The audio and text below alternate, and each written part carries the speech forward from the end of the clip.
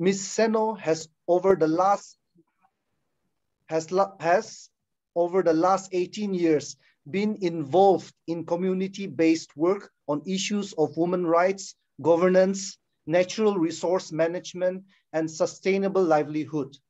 As for our second facilitator, uh, he needs no introduction. It's Dr. Wati Longchar, who is uh, the leading uh, in this uh, leadership training program. He is the regional consultant for theological education in South and East India.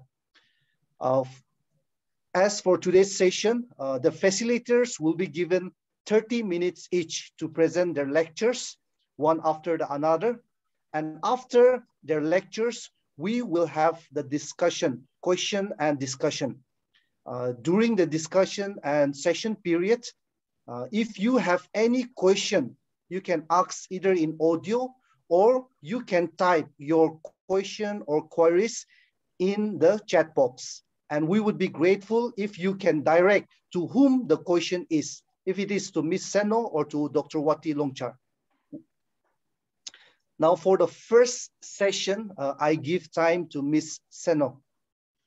Mm, I think uh, we have decided that I take first. Oh, okay, okay. Then uh, over to Dr. Wati. Yeah. Okay, thank you, Sashi, for this time.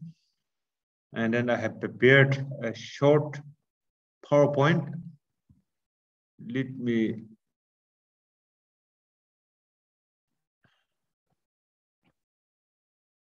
uh, this is the one. So short, but uh, 30, 83 slides, but I will make it short. Now it's 8, uh, 6.34, so I will take my, you know, 30 minutes time. What we have heard, we have heard that the rural and vulnerable communities are hit very hard, uh, badly by the COVID pandemic. And then I quote one word from Seno here. She said, we must safeguard the common resources, land, water, forest, seeds, traditional medicine, people's knowledge and culture, and retain them in the hands of the community. Uh, and then I add one words there, not in the hands of the corporate. It should be owned by the community, but not by a few corporates. It is dangerous to hand over God's land, life-sustaining power of land, you know, to a few manipulators, handing over the world and its resources to a few corporate is the root cause of the collapse of food distribution system now we are uh, facing. Uh, sorry, uh, Dr. Wati, I need to interrupt. If I am the only one, but uh, your slide, it's not visible. We, we are not able to see your slide. Really? But uh, it is, it says... None of us, none of us can see your presentation. Okay, let me try again. Then uh, I'm very sorry.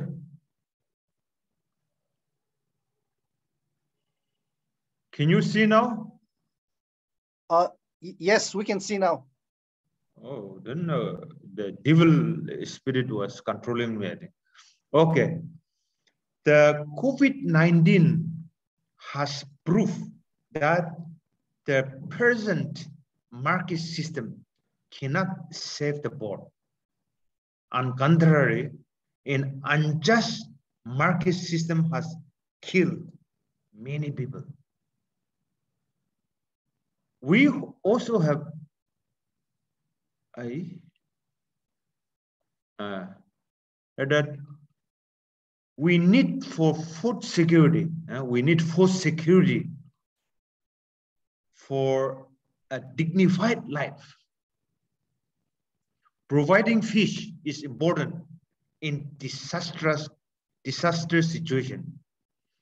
Time of giving fish is getting over as the COVID surge is subsiding, coming down. Now we need to start how to fish, how to build fishery pond, dig fishery pond, so that our people live a sustainable life even in the coming years. Our problem is that we want to become rich in overnight without work, especially many young people. Huh? We think that misuse of government money is okay. We think that it is a blessing. Sometimes, even by the pastor, glorify those corrupted by praising them, by, you know, saying that these officers are God-fearing, although that person is giving uh, stolen money. But we have to uh, stress that it is a sin. We are misusing common property, and misuse of common property is sin. Now, again, everybody look a government job only. But young people do not want to take risks and engage in creative entrepreneurship. That's why we have so much of unemployment problem. No job. Who is creating this unemployment problem? Not by anybody, it is by you and I. This is what we have to know. We were told that if you don't want to work, you must study hard. This is what my parents keep on saying, you know, if you don't want to work in the sun, in the rain, you must study hard. We were never told that study hard, to work hard, to help the community, to enhance the quality of life, to create jobs. Huh? We were never told. We were never told that enabling people to have food security and involved in sustainable development is part of Christian ministry, part of Christian life. We were told that church exists for the soul winning alone. This is a wrong theology, and that theology continue to uh, make a lot of people in live in poverty. Our education system produces job seekers graduate. So many graduates are producing, but they look only for the government job. But we don't produce job graders graduate. We must, once you have you are graduated in a college, means you must be able to grade many jobs. But our education system is faulty. Again, very funny thing is we look down those who cannot get government job. Parents look down. Parents think that they have not got a job. But we have to realize that a government cannot give job to all citizens. Again, we look down the villagers uh, in uh, Nagamese, Bustiwala. We think that going to the cities in downs is the final goal of life you have achieved.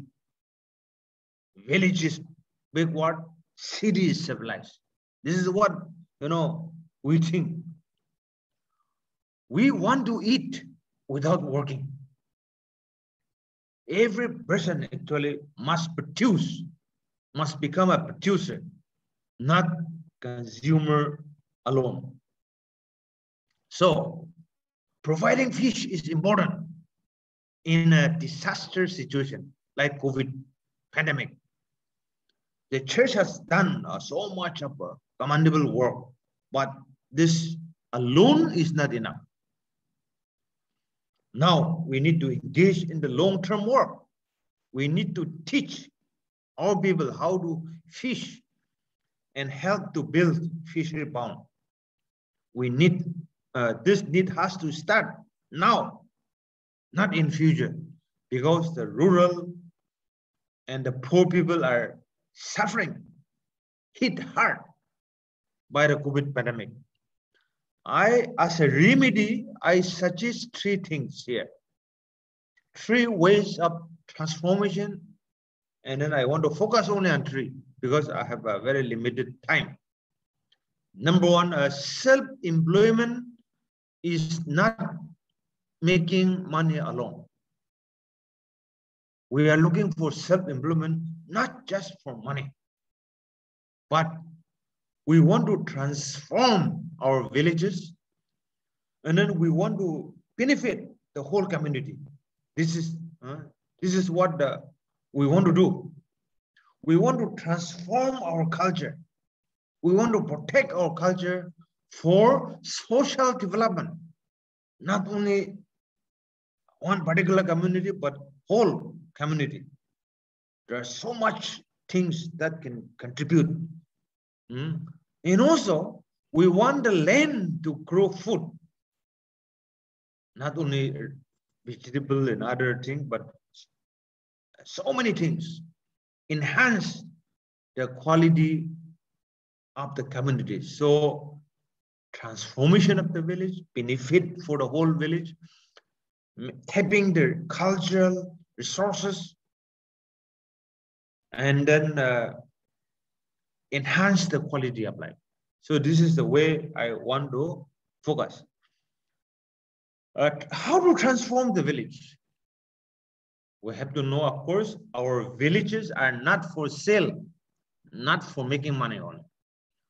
But we can transform it in such a way that we protect our culture, we promote our culture, tradition, and other can come, see, learn, and then transform themselves and a go.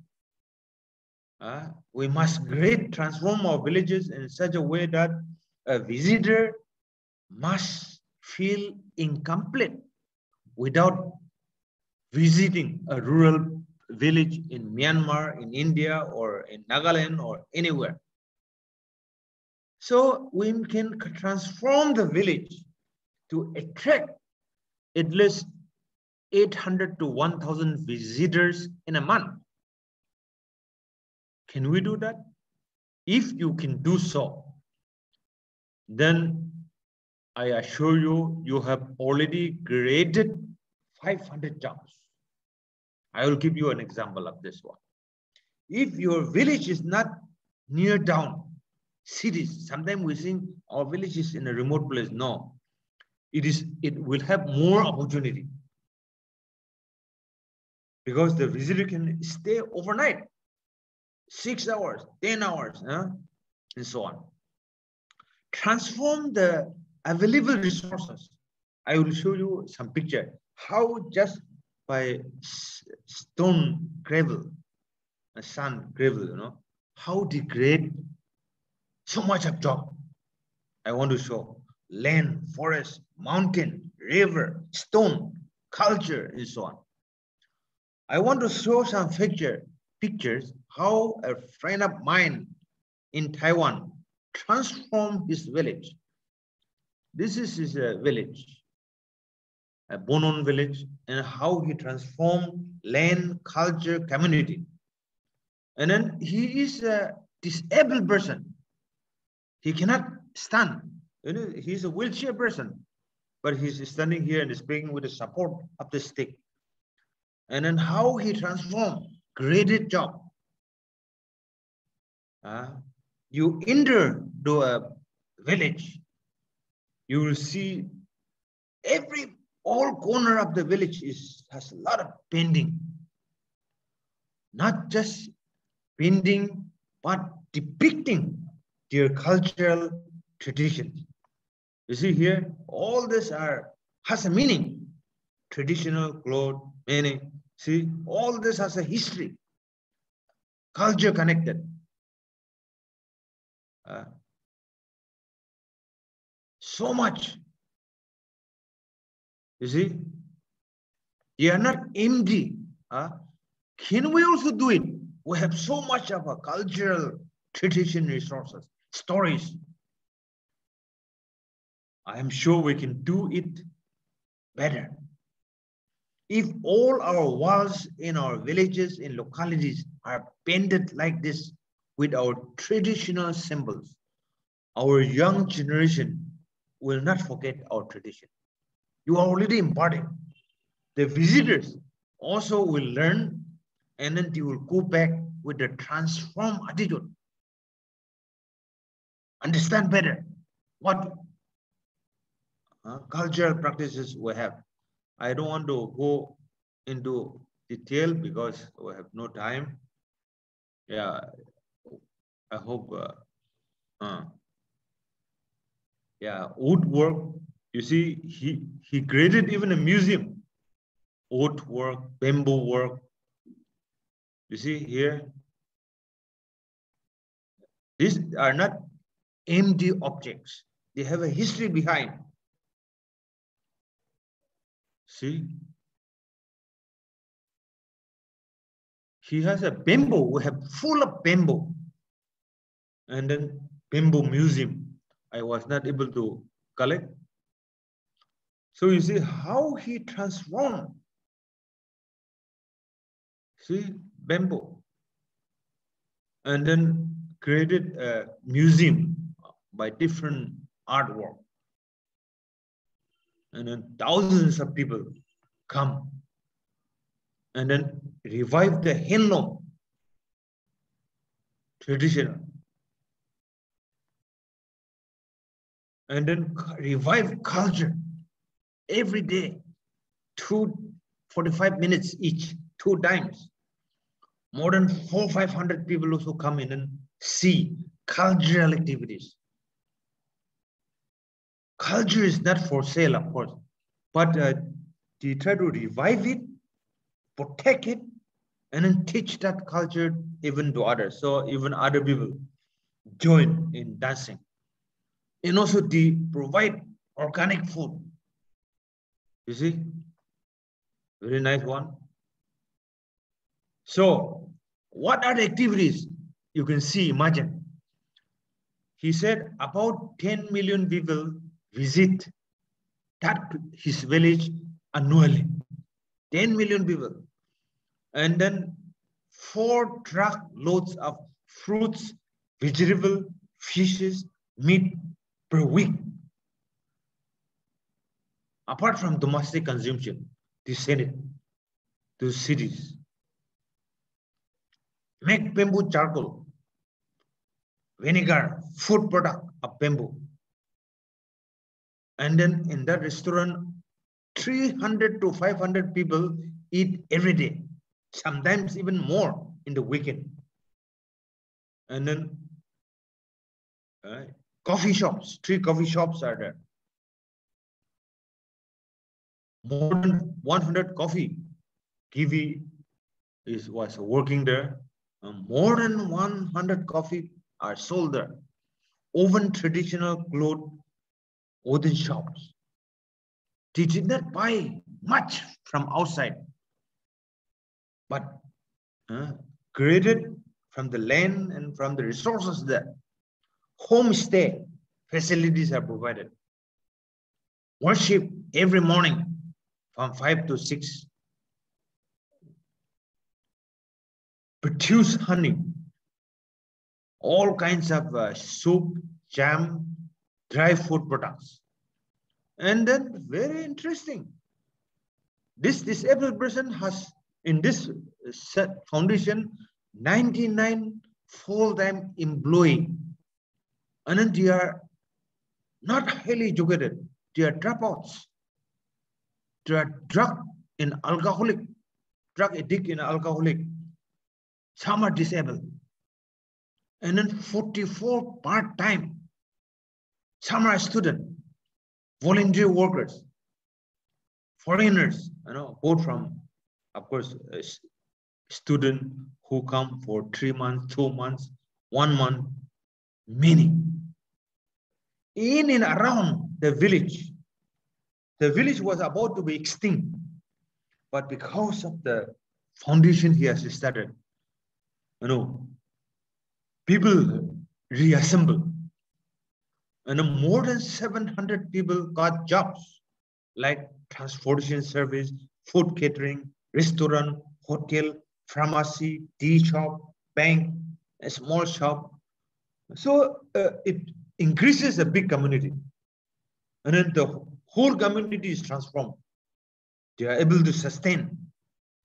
And then income per year is, of course, more than 10 to 12 million without any government support. This is how community is transformed. Communities are benefited. I also had uh, been to a, I could not collect much, but this is in Malaysia. They created a plastic eco village, recycle for future, a better future. Nothing, they don't have to spend anything. All these are uh, bottles you drink tea or water in a trot, and a group of young people have created a plastic uh, village. When you enter there, you feel very much challenged that how much I contribute towards natural destruction, environmental crisis. So here you come, thousands of people come, and go back being transformed. You see?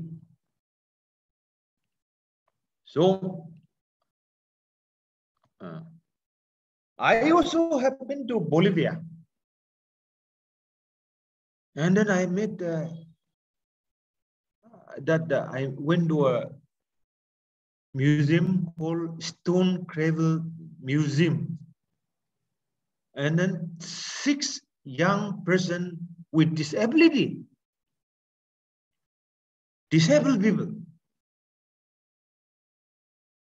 wheelchair, some have uh, no hand also, but they are making art by leg. Mm. And then this whole degraded uh, with less than 200 US dollar.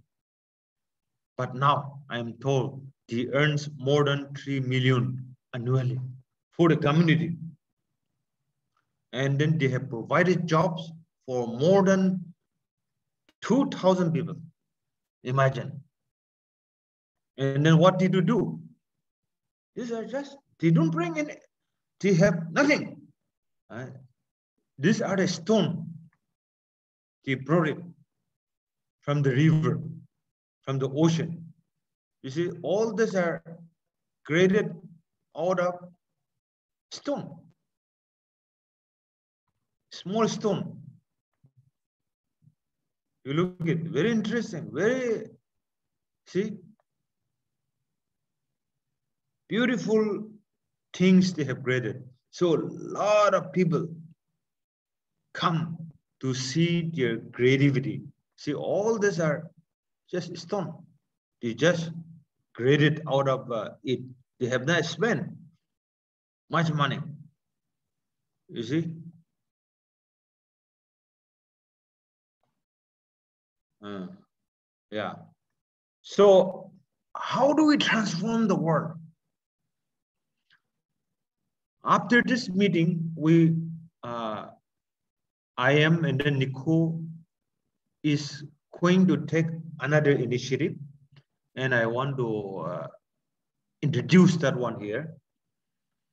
IM and NECU will conduct another training program on economic development and business from January to July, the first page. And then from July to December, the second page. The course will offer fundamental theories and practices of community and economic development, including technical assistance, identification of local resources, community mobilization, and transformational leadership. Okay, so we have designed the course, and if you are interested to see the course, please let me know. I will be very happy to share. And then the objective is not only making money, understand holistic gospel. We want to produce. Produce business plan to create jobs. That means whoever graduate must be able to create jobs from whatever resources we have, not the you know supermarket. We're not talking about that. Improve quality of life after community. Okay, quality of life because of your activities. You just don't have to mint money, but together we grow together, improve the quality of life of the community, and start help start business in your area. So this program will be uh, facilitated by the expert, very successful uh, business professional and also missionary who are working in the US, New Zealand, and local entrepreneurs who have been already you know, doing engaging. Men and women will share opportunities, challenges of the business development, the problem they face, how they start. Uh, all this we will learn. Nurturing micro and macro businesses, financial planning, marketing, promotion, and people-to-people distribution, network, and stewardship. So we will be uh, giving that one. Student who wish to engage towards sustainable development and entrepreneurship will be requested to share their achievable concrete plan of action for economic development and business enterprise. And so for this, we have decided to make a grant, seed grant to start with, so that it allow you to grow seed grant. US dollar 5,000 will be made available to eight to 10 people. Individual it could be or a group of people in the neighboring area or friends around you can mobilize and then submit your project huh? group of people to initiate the work. How many how what are you going to do? How you are going to create jobs how it's going to benefit the community so tra the training program facilitators will examine the feasibility because they have done a lot of work you know, of the project proposal before granting the seed grant. Criteria will be worked out in due course of time and then informed to you, to the participants. Okay, even if I know many people will not get, but even if you cannot achieve or receive the seed grant. You will gain new knowledge on Christian business development and engagement. Because without money also you can start. You will gain new guidance, new insights, tools to identify various entrepreneurial and business opportunity. We'll be engaging uh, uh, networking from Thailand and other countries as well. identify and enhance skill and ability to be an entrepreneur. Okay, you will skill. You have already a skill, not using it. So we want to enhance the skill and ability so that you become a successful entrepreneurs. Great jobs for the local community. Many of our people are suffering because there is no job. Graduate, but simply staying at home. No, we don't want that situation to occur. So everybody will engage in something to create jobs for the local community and enhance the quality of life. I've given you some uh, three examples. Uh, I could have uh, discussed longer, but I, I just, I hope we can uh, come back. In conclusion, to be young is power. Okay, I'm I'm getting old. I want to become young. To be young itself is power. That means you can plan, you can contribute, you can do a lot. Land, river, mountain, rock, trees must be protected. Plan your economic activities to protect this one. In use it carefully, not only for you, but for the future. Protect them for the future. Organize people. People can do collective efforts, not just with uh, becoming one person rich, but spirit of growing together. If we all grow together, then the society will be better. If you only become rich, then there will be a lot of fighting, bloodshed. So all our activities must be how to grow together. That must be our uh, business plan. And this way, uh, COVID-19 can be overcome, the crisis that has uh, bring by the COVID-19. Always have a long-term plan. at least 100 years, not short term. This is what we need to do. Huh?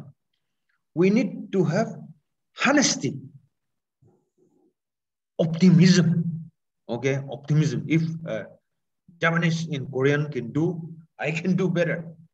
Mm, that spirit, I can do better. That spirit must be inculcated. Hard work, and dedication, but not con culture. We want to get rich by using con, robbing others. I have been to Singapore several times. Singapore is the richest, one of the richest country in the world in Asia. I asked you have no natural resources, even water you have to bring from Malaysia. How it become rich? The simple answer was, we don't have anything, so our hard work, dedication, honesty made us rich.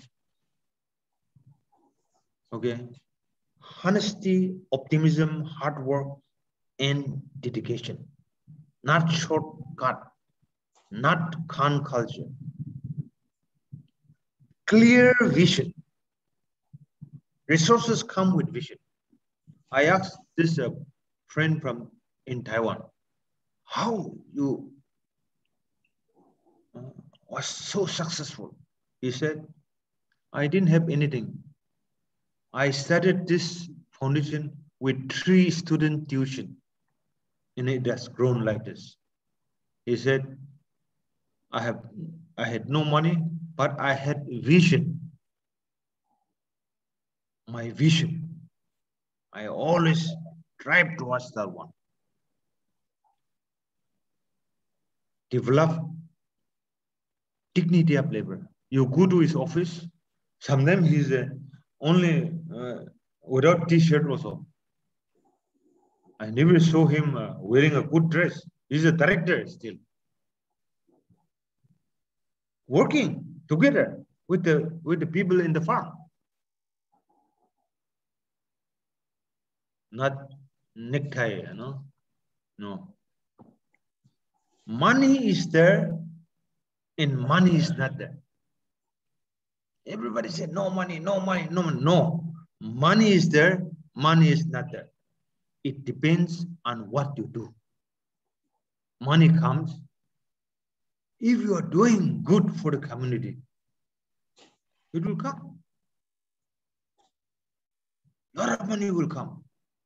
So hard work, honesty, dedication, dignity of labor, with that clear vision, you can achieve it. Always start with a big, small but with a big dream. This is what I want to uh, say. Thank you so much, and uh, I hope uh, I can explain more when question and answer Q&A time comes. Thank you. Uh, okay, thank you so much, uh, Dr. Wati Longchar, for your lecture especially on self-employment to transform our village culture and uh, self-sustenance, and also bringing out examples from the work of Reverend Pai and the Stone Museum from Bolivia. Uh, we are also looking forward to the next training from IM and NECU on economic uh, development and business uh, in the 2022. So uh, now for the next session, I give time to Ms. Seno uh, 30 minutes, if you can, please complete your lecture in 30 minutes so that we can have more questions and discussion. Thank you, moderator. Uh, I will try to be precise. you can remind me if I don't finish in time. Yeah. Can you see my screen? Uh, yes, we can see. Okay. Yeah, so uh, thank you, uh, NECU, and uh, especially Dr. Wati Longchar, the coordinator of this training program, for giving me this opportunity to be back. Uh, I want to clarify, or I want to make it uh, uh, clear that, you know, like I'm not an expert, but uh, a concerned person who uh, works for community well-being in a very small way. And today I would like to share, you know, uh, about food security, sustainable livelihood, self-employment in times of pandemic, and some practical steps.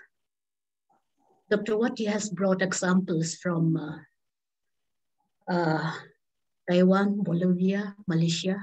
I'll be bringing about uh, some few case studies which are from the Indian Himalayan states, basically like more from uh, Nagaland. Uh, I will not go into further of like, like the impacts. We have all seen that livelihood crisis, health crisis, and you know food crisis during the time of pandemic, which we are still facing. Um, so I would like to share about a, a case study on a woman farmer from my community who is a mother of five children and a grandmother of maybe some, you know, six, seven children by now. Uh, she's a person who practices, you know, biodiverse farming and uh, a very knowledgeable woman also tries his, her best to save the seeds, also tries her best to, you know, like uh, grow as many as crops as possible. And also somebody who also grows not only food crops, but also you know, like the, the cash crops, like you know, monkey beans, you know, horti products. And she's somebody, you know, like who, who also is a very, you know, like I should say, a one, one good example of a person, a resilient uh, women farmer, because even during the pandemic, she has not really faced problem of food crisis.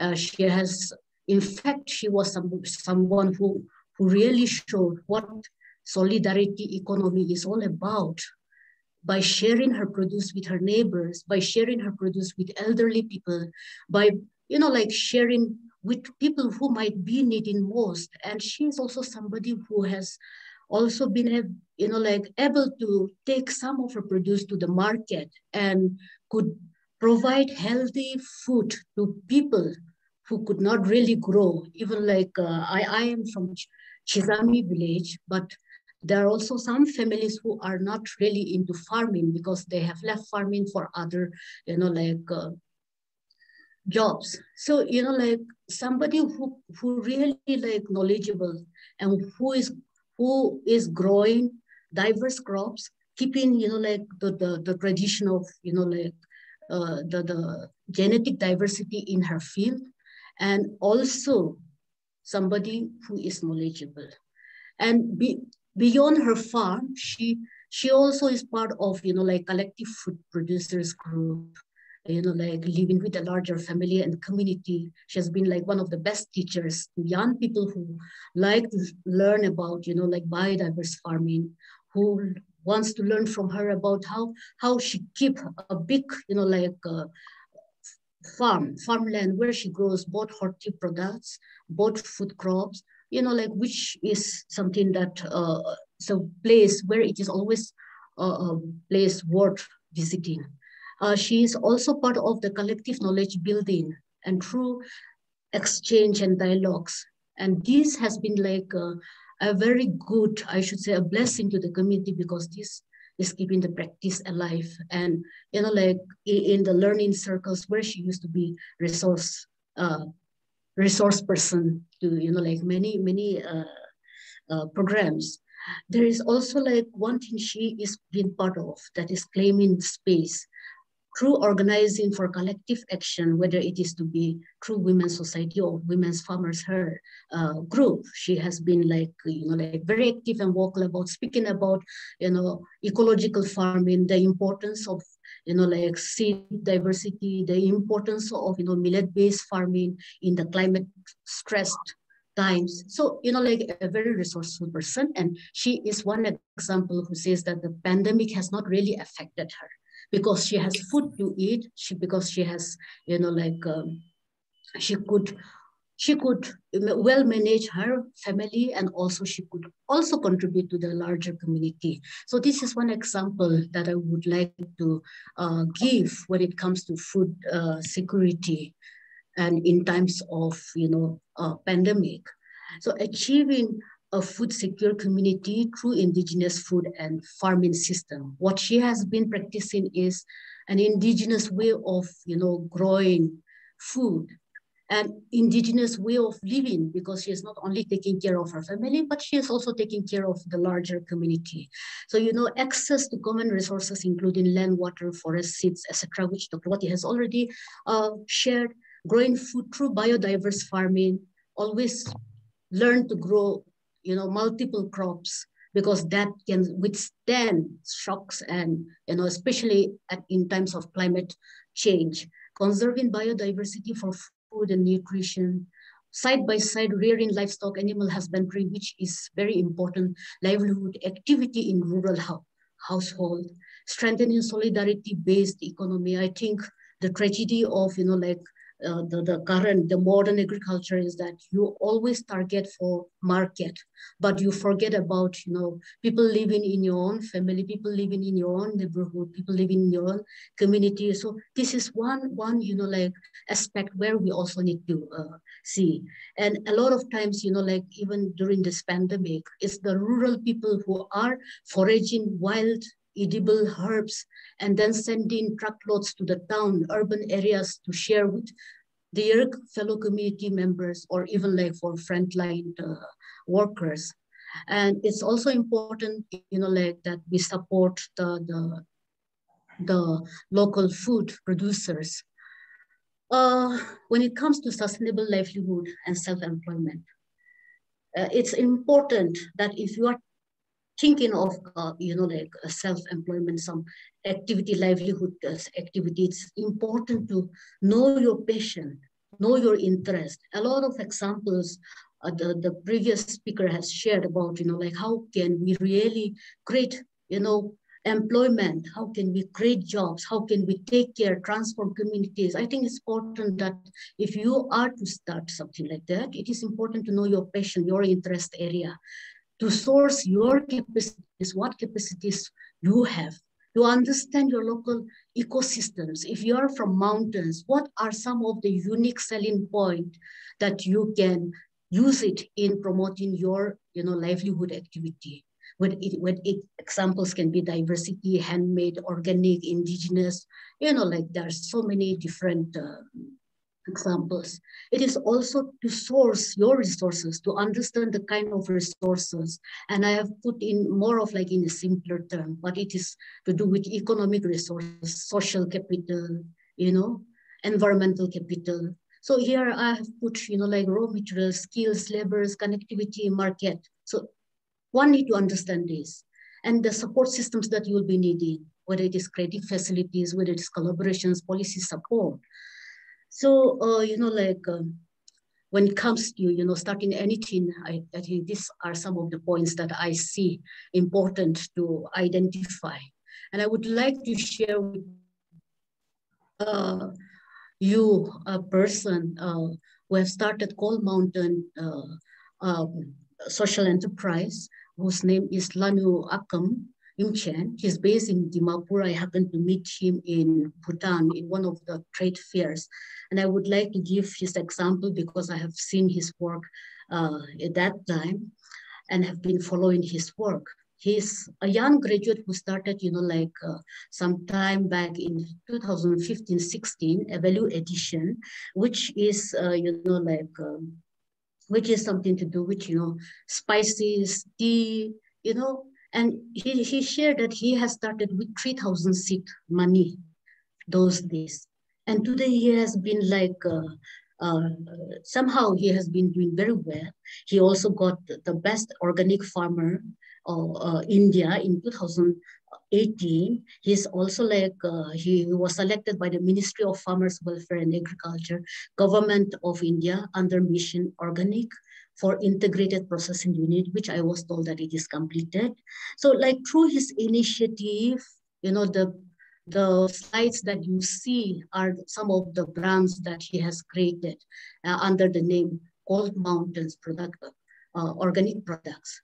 And I have also given uh, his uh, web uh, address, which says that it's not really completed, but you can always get the information about his work.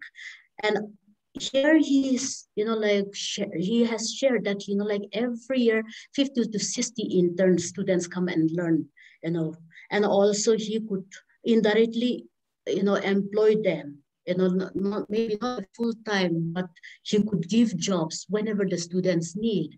Not only that, he gives jobs, you know, like in the form of uh, daily wage, uh, you know, wage earning systems, like 200 to 300 uh, youths and also he works or or he could you know like somehow benefit 3000 farmers. And he his whole you know like products ranges from tea and tea very niche product i should say with health benefits and you know very good branding he has created for himself. He not only represents you know like in the national platforms, but he has also a couple of times gone to, to outside to showcase his products. And I thought that this is one example that uh, uh, we all can learn from it because he shared that he has started his, uh, his uh, enterprise. The first seed money he has in his hand was only 3,000 rupees.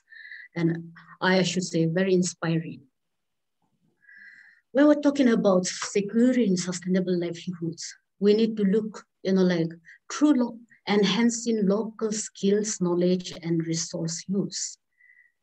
Identifying diverse livelihood opportunities. for us, you know, like especially in the mountain areas, in hilly states, whether it's you know, like in the northeastern states, a lot of us have, you know, like seen in rural household that they are mainly, you know, like doing subsistence agriculture. They follow somehow multiple approach, I should say, because they will rear rear animals. They will have, you know, like uh, uh, farming as the main activity. They will also have, you know, like craft work. They will also have, uh, you know, like uh, foraging from wild to, to, you know, enhance their livelihood, their income. So it's important, you know, like the di diverse livelihood opportunities. The, the most of the participants here are either students or working with, you know, like church members. Maybe some of you are, you know, like based in urban areas, but a lot of you are based uh, in rural areas also. So it is important if we are to facilitate, you know, sustainable livelihood initiatives within with your members or with your community. It is important to identify these opportunities because diversification of livelihood options is very important if we are to talk about, you know, sustainable livelihood emphasize on basket approach, which is somehow like the, the same thing which I have shared, integrated and cross-sectoral perspective. It is also important to, uh, you know, see the value chain, do a value chain analysis as per the geographical local context. If you are from, you know, Mizoram, what should be your value chain analysis? Keeping in mind the, the, the location of your state, your community, you know? The same way, if we, we in Nagaland, we are in Nagaland and we are to start a social enterprise. What will be the value chain? You know, that analysis has to be, you know, a study done by uh, each one of us. Uh, I would like to share an example of a successful uh, uh, producers company, Mahila Umang, Umang uh, Producers Company, which is in Ranikhet in uh, Almora district in Uttarakhand. And this is, you know, like this woman which you see in the center, Sunita, uh, she is somebody who is, you know, like she is the co-founder and she is the secretary. She supports, you know, through this Mahila Umang Producers Company, she supports, you know, 3,000 households uh, in her area and through diverse livelihood uh, activities. So the, the, the slides that you see is, you know, like the, the activities that her group does. And from, from fruits, horticulture products to gems, jellies to tea to, you know, hand woven clothes to knitting to, you know, like spices. She could really like give or enhance the livelihood of 3,000 uh, uh, um, families in her area. And not only that, you know, like uh, she has also had uh, somehow like she was successful in this micro critique and uh, which is like a bag. And in her words, she says that uh, uh, she they need trade and not aid. So basically, like the whole concept that she has uh, emphasized on building, tapping on the resources of her community, the resources that the, the people have, they are very good in knitting. And because they are in a, a hilly state, in Uttarakhand, Ranikhet is a very cold area. So knitting, knitting is one thing that she has capitalized that women knows knitting and that has been like sold. So the marketing, the value chain is very, you know, uh, effectively done. And this woman could, you know, like she started in 2001. In 2009, she registered the self-help groups into producers company. In 2018, she could, she could, you know, like uh, make a turnover of four crores. And, you know, like she, she has, you know, like uh, uh, done in such a way that with her SSG, she could really like enhance the livelihood of the people. And an example of very good example of a producers company, which even like the United Nations have mentioned in the Commission for Women's Status 62nd women's status mentioned about her. So I thought uh, I should bring in this example if we are to have or to mobilize some collectives towards sustainable livelihood. There is also a case study which I wanted to share where I'm also part of it, a case study of Chizami Weaves. And uh, this we have started in 2008 with Northeast Network Livelihoods Program uh, to enable women towards sustainable livelihood. And we started with seven weavers in 2008. Now we have around 700 weavers. And um, we, we have uh, somehow, you know, like spread ourselves in three districts of Nagaland in a very small way we have uh, we have started this but i think the important message that we need to get is that we have used a skill a traditional skill which is already existed existing in the community.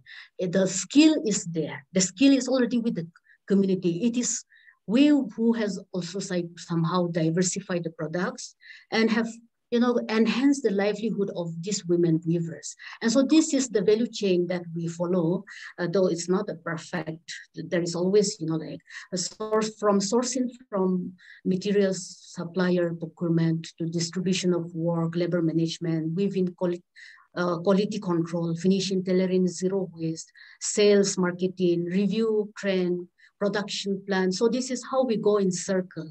This is the value chain of Chizami weaves, which we follow.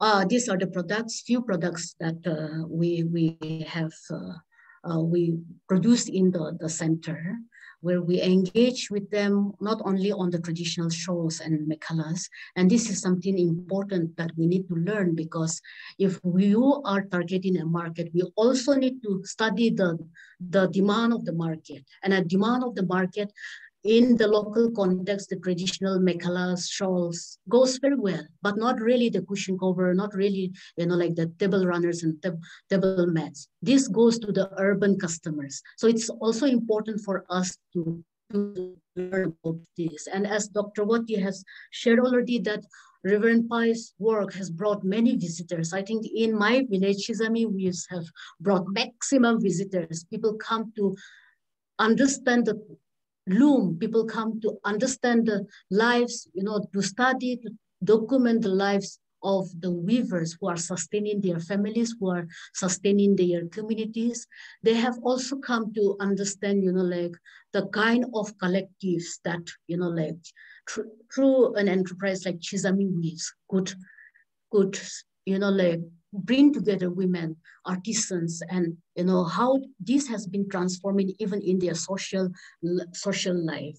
So, so this is something, and also, you know, like innovations, very important in any kind of enterprise that we take up.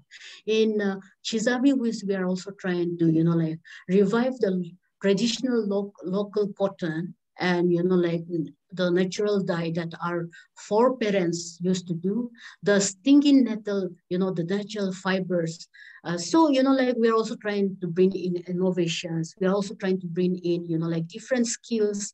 And this is very important when we think about uh, any kind of uh, social enterprise. I would like to share um, uh, a little bit on on you know, like the stories of, you know, like the street vendors. And when we're talking about the margins, I think the street vendors, the daily wage earners, they are somehow like the most margin, marginalized section of our uh, community.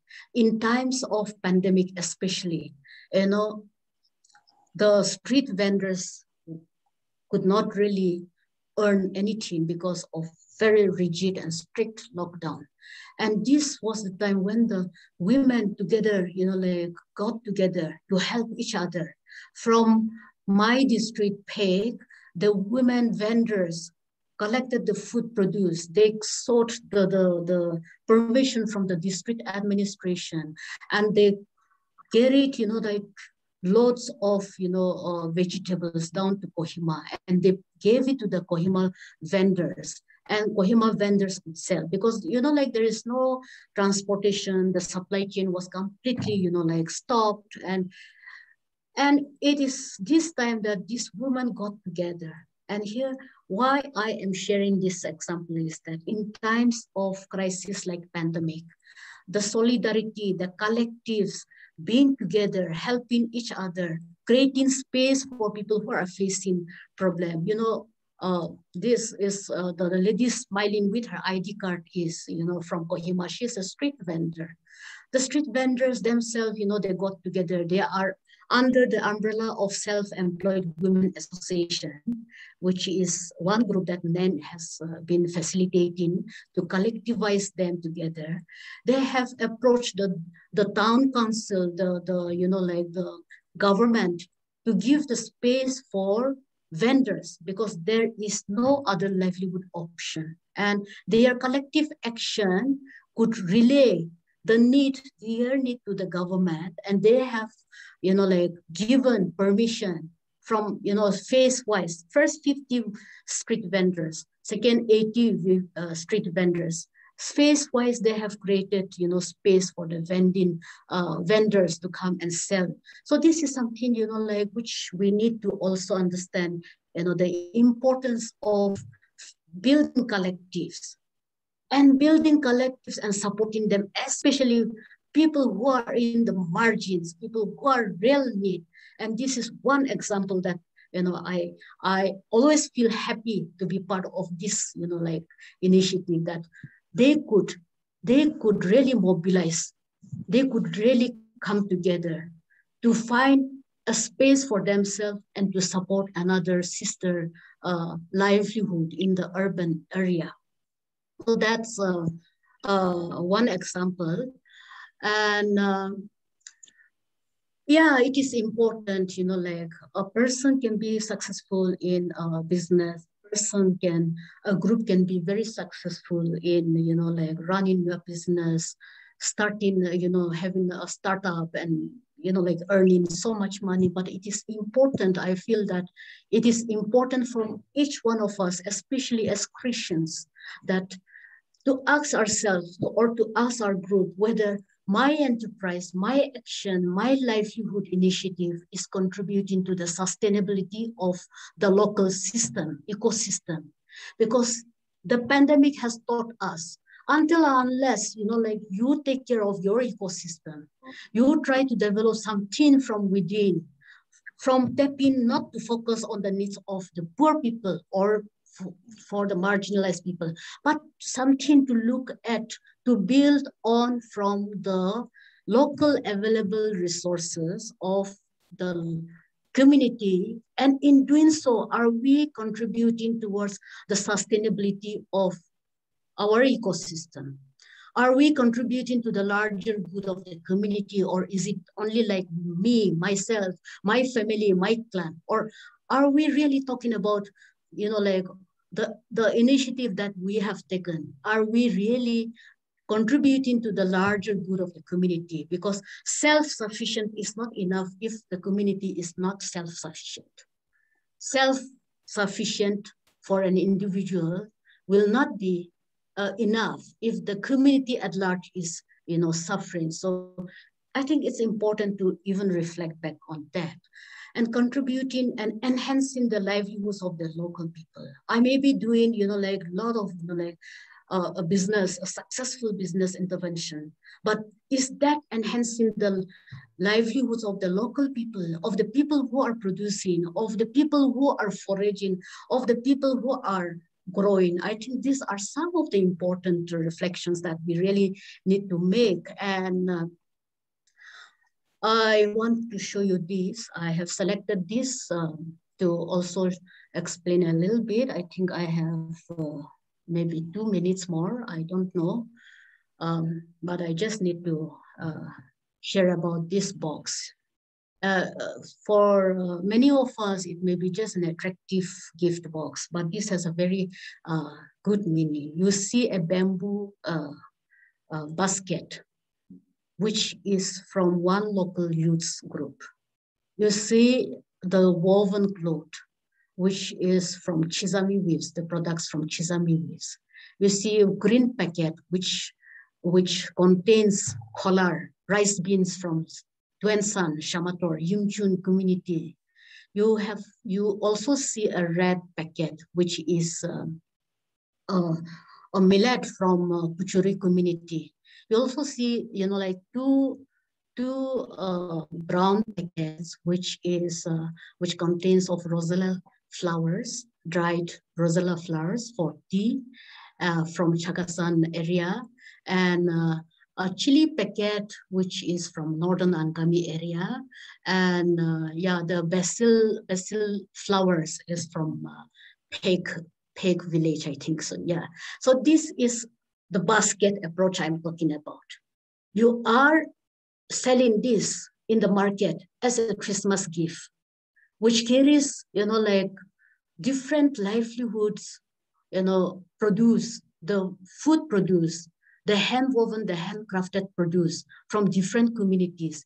And this basket may cost 2,000 rupees as Christmas gift, uh, you know, packet. It that 2000 is shared by four or five communities and uh, uh, i wanted to end that you know like whatever we do let us see who is benefiting most. Is it only me or is it the larger community? And I think uh, I will end here. Thank you so much.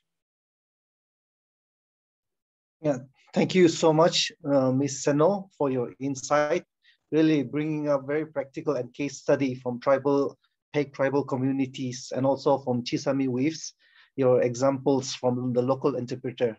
And I think I couldn't agree more to your points in the reflection where you mentioned about contribution to the local ecosystem, the local community and enhancing the local people. Thank you so much uh, for your lecture and insight. Uh, now we will have the question and discussion.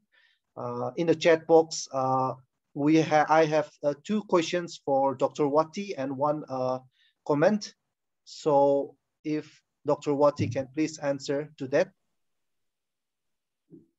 If uh, you cannot find it, I can say it for you. I got it now. Hmm. One question is uh, elaborate more on entrepreneurs from your PowerPoint and how this can, this tonight topic be related to with a Bible student. Very much related to the Bible student we talk about holistic mission, holistic ministry. We have been emphasizing only on one dimension of ministry. So we want to break that. You know, the Reverend Pai I mentioned, he's an ordained minister. He has done MDiv. And he said he learned three days how to cultivate mushroom. And that is the turning point in his life. So the village, his ancestral village, which was shrinking, you know, reduced to around 30, 40 families. Everybody moving to the city, living a difficult life. Slum, some are doing, some are in the very dangerous factory area they are doing. No, more than one, uh, two, three thousand uh, family around already came. It's already a township from uh, nothing to township. So that is called giving life to the community to live a dignified life. So for me, this is very biblical maybe I could not uh, explain as you expected, but uh, uh you see, uh, next time when we are going to do this one, economic development, full of Bible only, but focus, you know, theology and practice of. Uh, yeah. See, theology and practice of holistic Christian ministry. Business enterprise development to bless and transform the community, which is very much there in the in the Bible. Theology of faith based in social entrepreneurship. You see, community impact and the holistic business. You see? Uh, so I don't know what uh, you are asking, but for me, the gospel that we talk today is not only soul winning, but a holistic community development. You cannot go to heaven without with empty stomach. What people need is food, especially after this pandemic. This is what I want to uh, say. But if somebody can also highlight, I'll be very happy. One is there.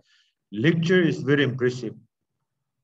It will be really benef beneficial. Uh, it will really benefit unemployed youth if you could kindly highlight some training avenues.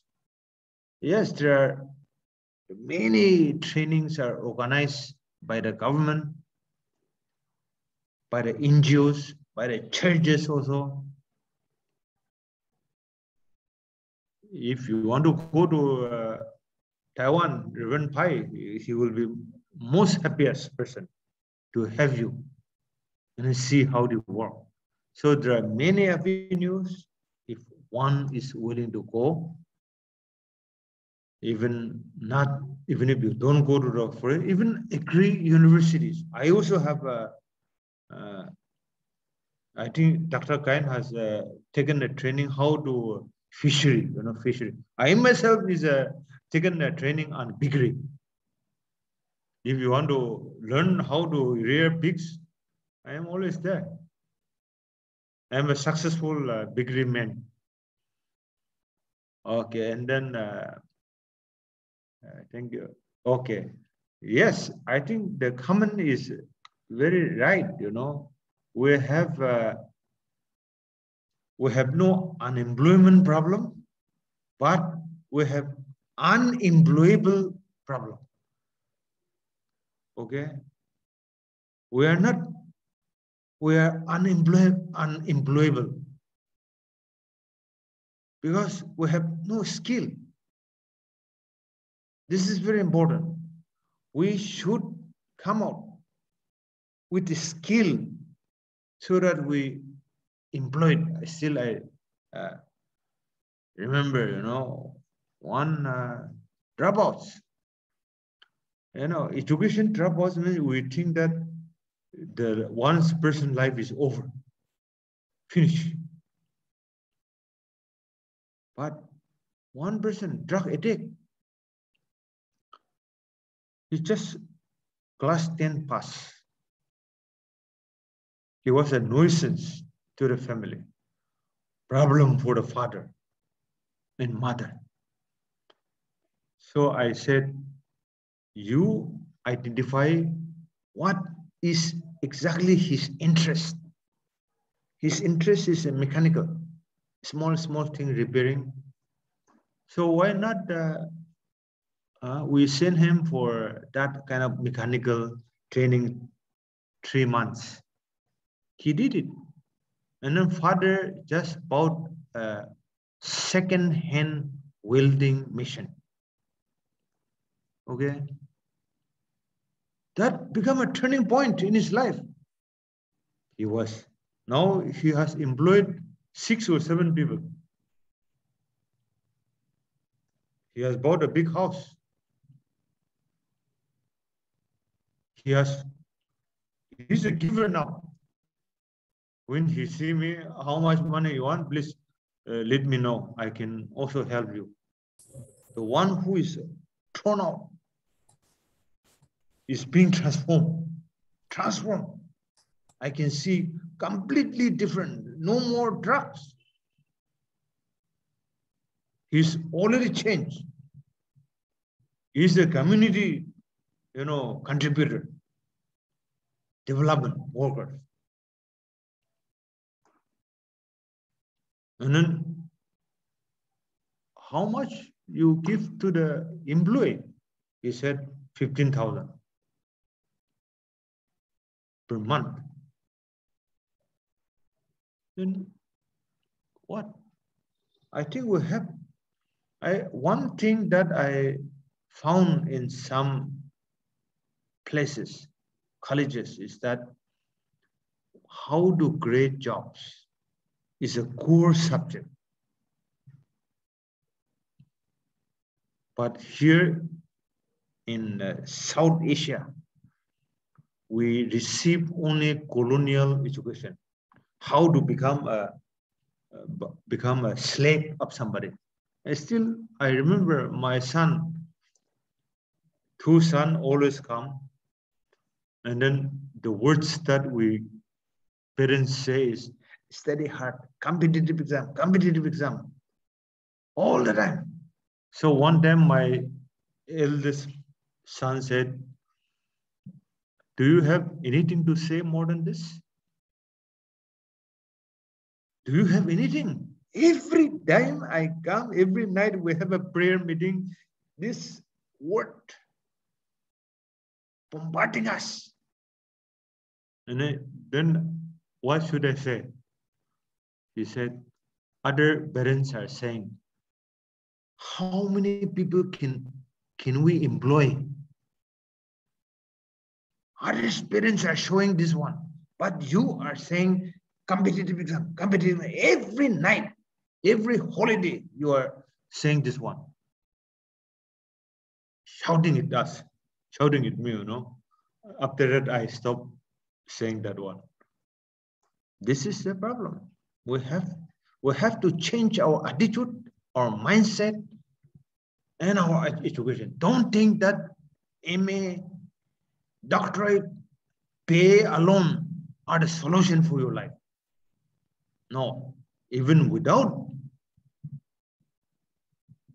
high qualified uh, education, you know, degree, you can still do it. This is what I want to tell. Yeah, thank you. Other can also complement.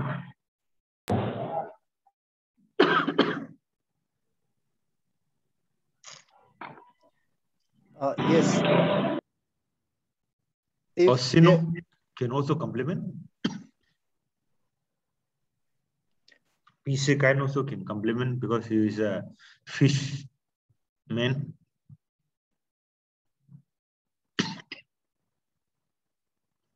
Uh, yes, Miss Seno can also supplement if she's willing and uh,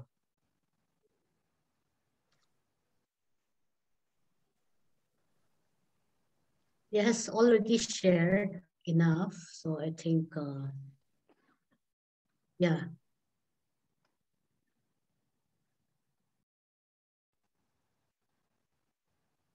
Okay, uh, I just have one, uh, just one question for Miss Seno. Uh,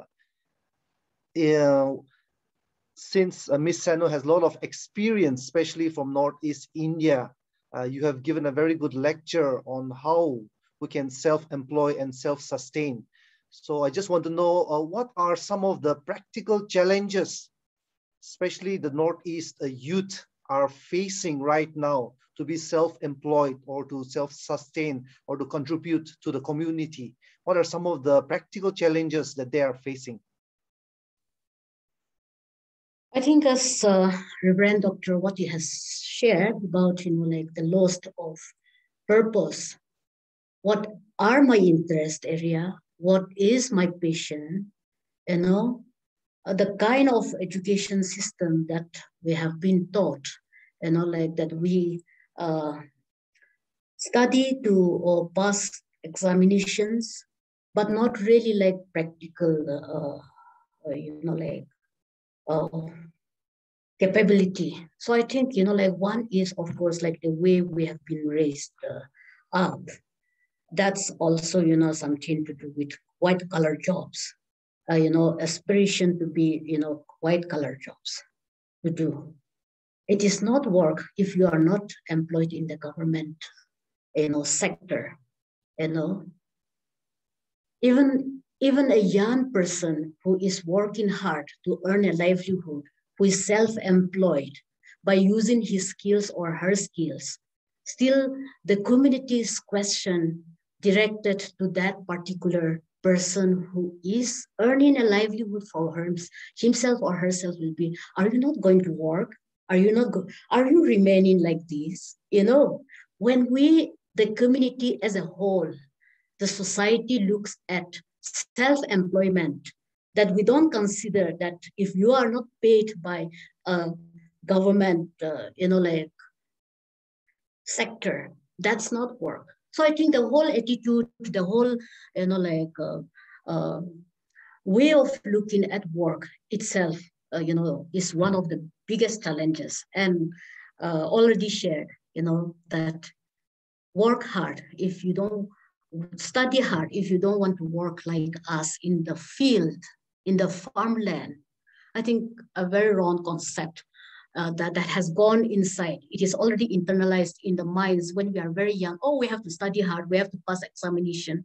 I think those are some of the problems. Besides that, if we are to look at some of the practical challenges in the Northeast is, of course, like the, the the area, the geographical specifications that we are located, the marketing, the, the connectivity problem, the transportation cost, you know, the, the transportation cost from Delhi to Dimapur is equal to Dimapur to Chizami, which is just 160 plus kilometers, you know, where thousands of kilometers you, you have brought raw materials from Delhi. That is as expensive as 160 plus kilometers between Chizami and so you know like a high cost on you know like connectivity transportation you know we talk of digital india. Now especially with pandemic we really have to do online marketing you know but we could not really do it. There is also you know like difficulty in getting financial credit facilities. That is also another you know and i think some of the basic challenges will be, of course, like if you really want to compete in the market and really want to make your products niche, I think, you know, like a lot to do with value addition, a lot to do with, you know, marketing skills, a lot to do with, you know, branding of your products, a lot to do with, you know, um, you know, making it, you know, like uh, stand out as niche product as a diversity that you know like you the, the, the kind of you know like product that you want to promote it. I think some of still like we are you know like uh, really uh, somehow uh, uh, scared or i know I, I don't really know whether not confident really you know like to use the full potential that is present. Otherwise if i see my own naga community very innovative even the designs very, very, you know, like creative. The kind of paintings that, you know, like they do on the t-shirts, the kind of textile weaves that women make, very creative with colors, with the play with colors, they get, you know. So I think, you know, the, the platform that we we are not getting enough, maybe one, but also like lack of, you know, direction is one big factor. Lack of, you know, uh, uh, uh, uh, you know, like sourcing one's own capacities and really looking within one's, you know, uh, ecosystem, resources, looking at those. I think we need, we really need to open up our eyes more. And also, you know, I think, uh, I feel that a lot of young people are lost, mainly because we have no direction. We have not really like, uh, we don't really think out of the box. I, I feel that it's in three different, uh, three, four different levels that the young people are facing challenges. And that can be within oneself, but also like the external, you know, whether it is to do with social capital or whether it is to do with economic capital. I think, you know, there are, uh, I should say there are uh, multiple factors that hinders or that is uh, responsible for, you know, especially youths of uh, the region to come forward. But also to be hopeful, and then I think I'm very optimistic. In the last few years, we see lots of young people coming out, uh, successful entrepreneurs that I have shared one example of Lanuakum, who is also now, know, like uh, doing well. So, yeah. Thank you so much, Ms. Seno. Uh, if there's any more questions from the participants. Yeah, good evening. Can I ask a question? Uh, yes, please. Yeah, yeah. Uh, my question is to start anything, we need a economic background because financially I have to be strong. Because suppose I am interested, suppose I have found people who also wanted to do fishing or they want to have fish farming. So they need a pond. But for a pond, I need money. And the thing is that as a church, suppose in our diocese we have some five, six ponds, but it has been given in uh, to some other people for uh, yearly contract. But the church, uh, my suggestion is the church should uh, encourage people or encourage the diocese should encourage the people for their own benefit so that the people can be can start their own thing fishing like that. They have pond, they can give it to their people and they should uh, have a uh, every time they should give the training to their own people so that they can start their own resources. What we are missing, although we have the resource, but we are not uh, getting the amount of things from the resources. We are looking for other people. We are giving it to a uh, contract with a one year contract to somebody who will be giving us 15,000 or 10,000 or 20,000 in a year. But we can make it 50,000 because if we can encourage our people or if we can develop a skill among them. So that will help totally our society as well as our community to grow. Uh, we are missing on this point. As a church, if you can develop these things, as a diocese, if you can develop all these things, then it will be very helpful. Because as an individual, I need a financial background. If I am going to start something, if I don't have any financial support behind me, so it, it become, I have thousands of questions in my mind. If I'll fail, what I'll do, if I'll take any loan, whether I can repay it or not. These are the certain things which is there in my mind. So if these things can, we can develop in our, uh, with us or we can advise, or if we can give some financial support so that we can move forward. Thank you. Yeah, if going to add something on this. yeah, that's uh, very important. We need uh, resources to start. But I have also mentioned that resources is not number one. You have to find out yourself what is the best talent you have, the community resources, natural resources, then money, money should come.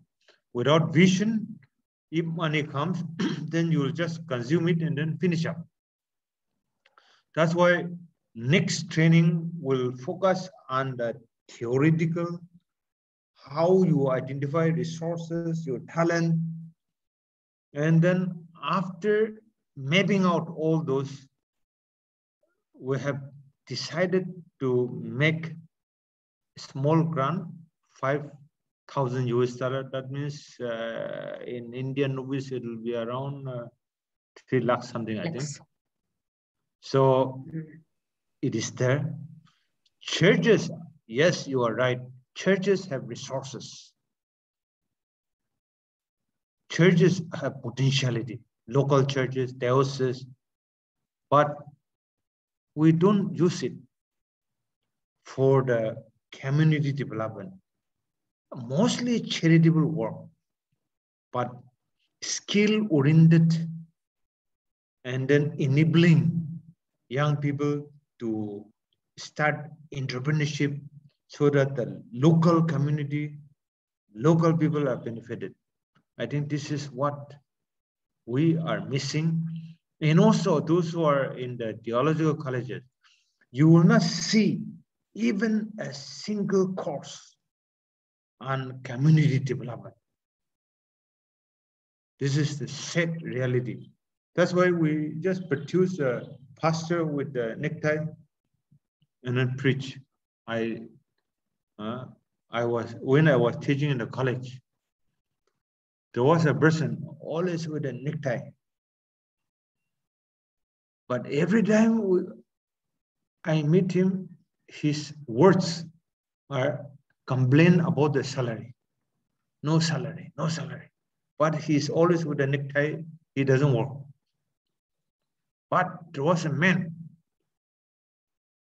same family, same family, uh, number of children, but he works from early morning in the night. He allowed the land to produce food. He never, I have never heard him complaining that salary is less. Never. He will distribute food to everybody, all the community. I have a saving bank, he said. I have a saving bank. Every day, instead of buying and then uh, do the market and then buying, he himself produce and then he eat organic food.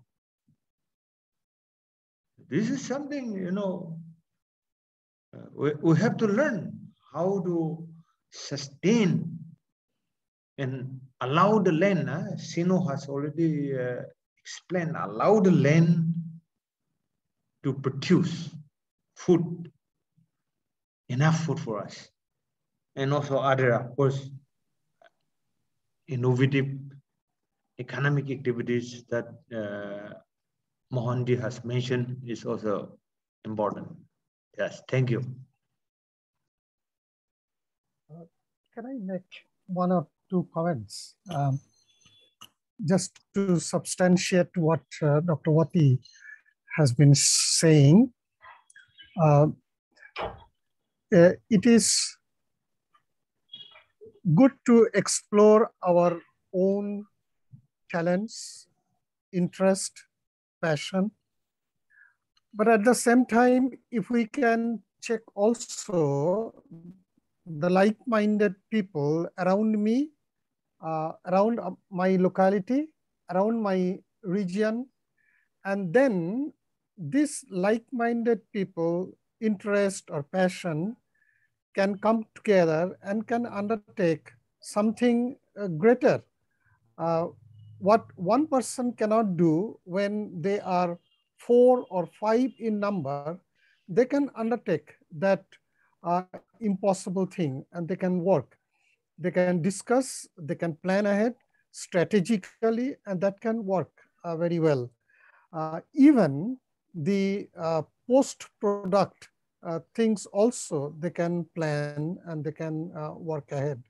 And in that case, uh, yes, we can uh, seek uh, cooperation from others, not necessarily financial, uh, even from advice, um, uh, from uh, the sharing of experiences, that can also help. So we can do that. Second thing that I would say that many of us may be in one way or the other engaged in the church activities whether in the youth committee or in the uh, uh, working committee or whatever it may be, Sunday school or youth program or anything. Now, uh, if we can find out from them uh, their own talents and how they are contributing to the uh, church as a whole or to the community as a whole, and if those diversities can be collected together and can be used for a greater cause that also can uh, be uh, quite helpful uh, for the entire community. And I think the time has come when individualistic living uh, carries no meaning, but one has to live in relation to other. And then only we find meaning in our life and we give life to the community as a whole. And that can be the uh, policy of our living today. Thank you. Yeah, uh, just uh, addition, next time that we are planning, you see, we found that if it is institution control, hardly we get success institution business run is like everybody child, but nobody child. Nobody takes care. Everybody wants to get only benefit. That's why we thought it should not come under the control of any institution or church. it should be individual or like-minded people coming together, forming, and then deciding that this is ours. We will uh, pursue this one. This is, we'll take it as a vocation so that the community are benefited. Uh, this is what we want to uh, see.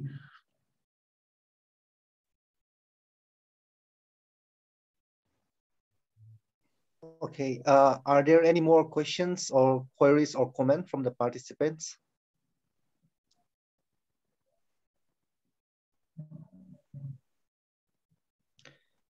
Yeah, if uh, there are no questions or clarification, uh, I will just uh, give the rest of the time uh, to Wati Longchar to conclude the session. Yeah.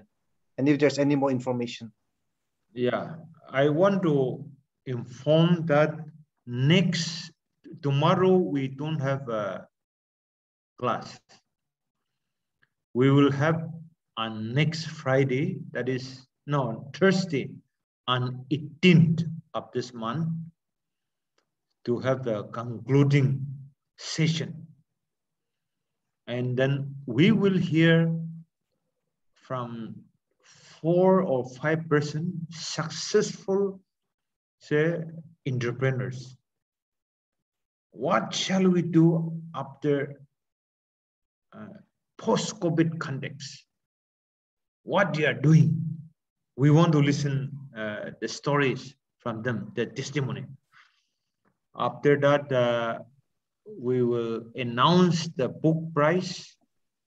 People who have uh, submitted the, the uh, I will give you the question tomorrow morning. And then you must submit it by 15th so that we evaluate and then select the best uh, answers and then uh, give the give the price book price and also please submit your name to Kiwi. I will I will give her email address when uh, she will receive all the application. Write your correct names, official name for issuance of the certificate from NECU. Once you have uh, issued the certificate means it is difficult to reissue again. It will be issued through the email, but very nice design of the of the certificate. So I'm sure you will uh, all come in and uh, 18 and then submit your again I'm reminding submit your answer by 14 but not long it should be maximum 250 to say 300 words. If you write too long, then we have no time for evaluation. Bullet point also will be helpful. Okay, that's, that's all, Sashi. Okay, uh, thank you so much uh, for the information. Uh, I hope the students have made it clear, but I think the in charge of each institute will remind you again. Thank you so much to Ms. Seno for taking up your time for the insights and for your lecture, uh, for also uh, answering the questions, even to Dr. Wati. Thank you so much to all the participants who have attended today and for the questions and uh, the comments that you have given. I pray and hope we had a meaningful time you know, to contribute to self-employ and contribute to our community. So thank you so much. In Nepal, we always conclude with Jai Masih uh, here whenever we have any fellowship or program. So I would like to conclude with Jai Masih and I pray we will have a wonderful uh, time at our last session. Thank you to all. Thank you.